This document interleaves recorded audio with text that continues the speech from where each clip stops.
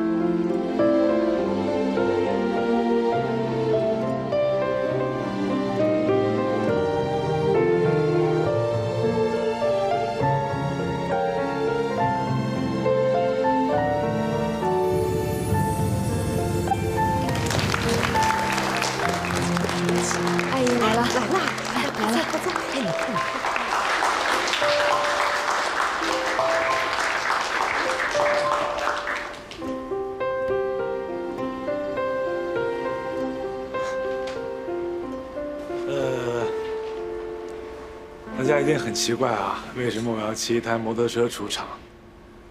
这么特别的出场方式，其实是因为我跟周放，就是因为摩托车认识的。一开始呢，周放对我来说是一个特别讨厌、特别难缠的存在。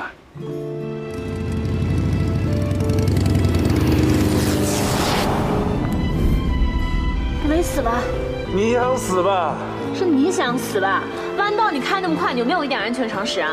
你神经病！你穿成这样马路上乱晃，碰瓷儿啊？碰到谁嫁给谁啊？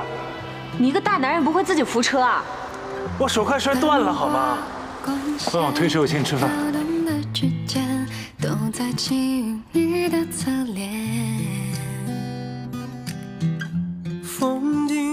但是在后面的生活中，在后面的相处中，一次一次的事件当中，周放让我看到他的可爱的一面，让我看到他倔强的一面。但是对我来说，也让我越来越想一辈子只保护他一个人，想站在他身边。为什么忽然晕眩？是否品干嘛你感冒了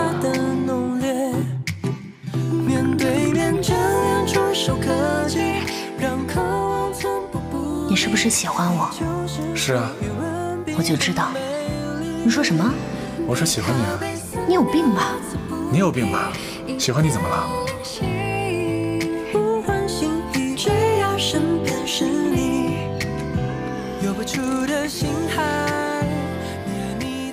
我们之后还有很长的路要走，如果我们连这点信任都不能给对方的话，那我们后面怎么相处？那就分吧。我没说要分手，不是那个意思。我想分手，新闻都在那儿，你让我怎么相信你？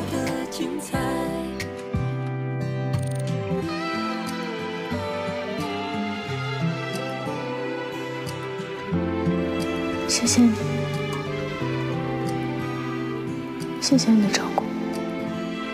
如果有一天我能轻易让你哭了，那我一定是那个最不想让你哭的人。你的手掌其实很多人说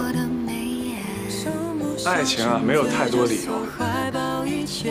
我不这么认为，我觉得爱情有很多理由，但是其中最重要的一个，就是你这辈子只想跟他在一起，一直在一起。下的浓烈。面对面睁你气消了吗？看到你我也气不起来啊。那看来长得好看还是有用的。我也想让他知道，有人是需要他的，有人是可以陪着他的，他是被保护的，也是有安全感的。那以后你就保护你的梦想，我保护你。愿意嫁给我吗？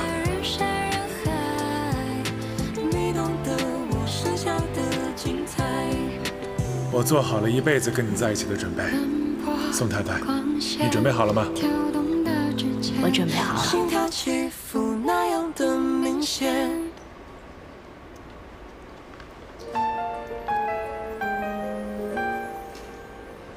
套上这个戒指之后，可就跑不了了。